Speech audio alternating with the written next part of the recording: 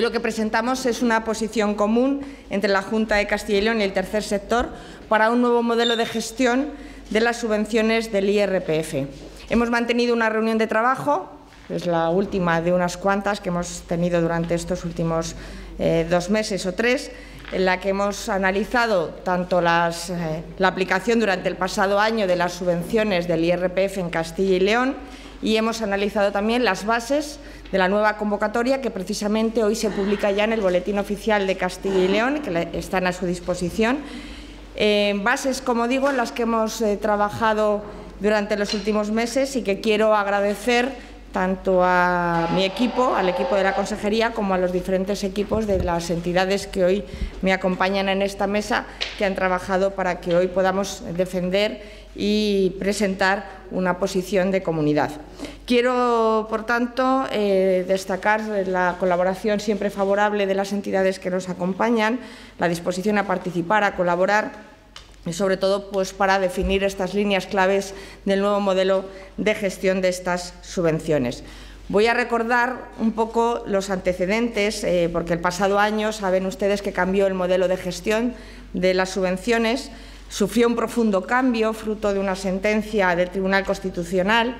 y del consiguiente acuerdo del Consejo Territorial de Servicios Sociales, que estableció además en, ese Consejo Territorial un modelo mixto de gestión entre el Estado y las comunidades autónomas. Por tanto, era la primera vez que las comunidades autónomas gestionábamos el IRPF. En ese momento y ante la incertidumbre eh, el pasado 8 de mayo del 2017, pues los que aquí nos estamos sentados hoy, pues eh, firmamos un acuerdo eh, para fijar la postura común de Castilla y León. Un acuerdo que, considerando acertado este modelo mixto de gestión, Estado y comunidades autónomas, puso en valor pues, la unidad de acción de las entidades del tercer sector y de la Junta de Castilla y León y cuyo principal fin fue el de garantizar el mantenimiento de la financiación recibida por Castilla y León en un marco de estabilidad y continuidad. Y hoy precisamente lo que hacemos es renovar ese acuerdo, esa posición común, esa postura común, porque consideramos que es importante además llegar a ese acuerdo.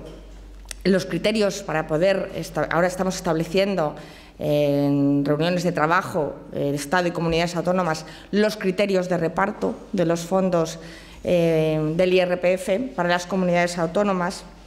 Y lo que queremos es, sobre todo, y así lo queremos establecer, y esa es nuestra postura común, pues que estos criterios de reparto, que las cuantías que recibimos las comunidades autónomas y en concreto Castilla y León, que nos garantice como mínimo que Castilla y León vamos a seguir recibiendo lo que recibimos en la última convocatoria, al menos los 20 millones que hemos recibido en el ejercicio actual. Y en el caso de que hubiera eh, mayor recaudación, pues sin duda eh, se apliquen los criterios que tengan en cuenta las características socioeconómicas de nuestra comunidad, como pueden ser el envejecimiento o la dispersión de la población.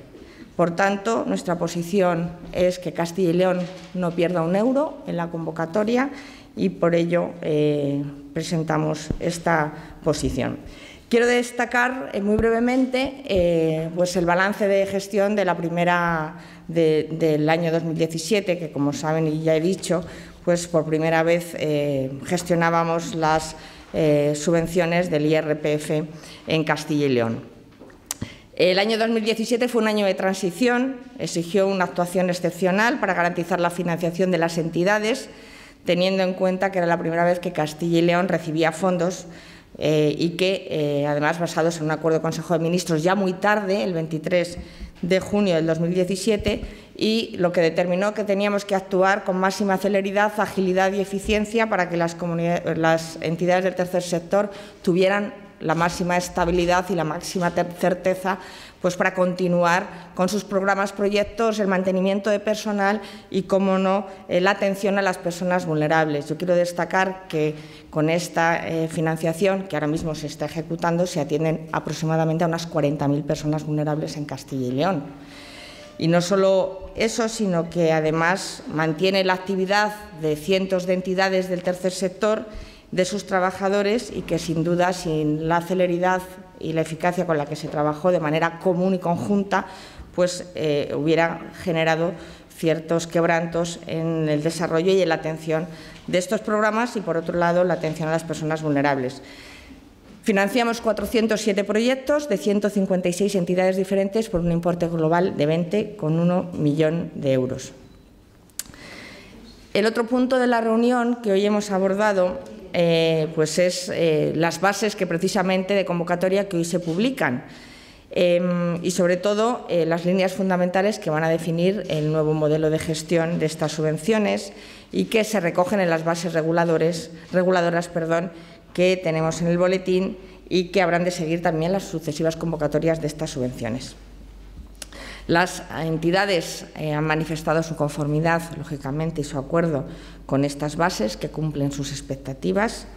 Eh, una vez aprobadas, el siguiente paso será la convocatoria de las subvenciones, pero que tendrá lugar eh, una vez que se conozca el reparto de los fondos y se determine la cuantía que recibirá Castilla y León en el marco del Consejo Territorial de Servicios Sociales y como resultado de las reuniones que estamos manteniendo.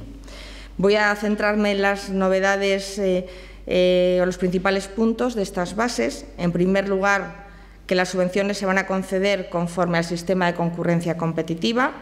que los programas financiados se van a coordinar con el resto de programas financiados por la Consejería de Familia para permitir la compatibilidad entre ambas fuentes de financiación y garantizar la coherencia con nuestro modelo de servicios sociales. En cuanto al reparto, la cuantía que reciba Castilla y León, que como he dicho vamos a insistir en que sea la misma, al menos, se, distribuirá entre los diferentes ámbitos de actuación que se establecen en las bases de tal modo que eh, llegará a ámbitos como la inclusión, el voluntariado, la discapacidad, mayores, infancia, familia, drogodependencias, mujer, igualdad y atención a las víctimas y juventud. Además, y con carácter general, mantenemos los criterios de valoración similares a los que existían en las convocatorias de la Administración General del Estado para facilitar también la gestión y la continuidad de los programas pero sí que es verdad que sin perjuicio de todo ello, del punto anterior, de mantener los criterios que establecía el Estado, incorporamos nuevos criterios para valorar los programas a subvenciones eh, con nuevos criterios de carácter muy social, que quiero destacar. Por un lado, destaca por su novedad que vamos a incorporar cláusulas sociales en materia de igualdad.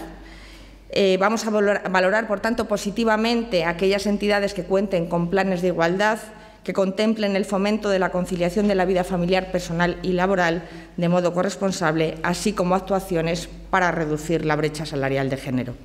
También se valora que las entidades cuenten con trabajadores y trabajadoras contratadas en situación de riesgo de exclusión social o beneficiarias de renta garantizada de ciudadanía,